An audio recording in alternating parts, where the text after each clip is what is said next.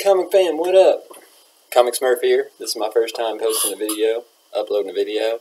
Still haven't got, got the hang of it. I think I need to face my desk towards the middle of the room. That way y'all get to see all the cool shit around me on the walls and everything, you know. Woo!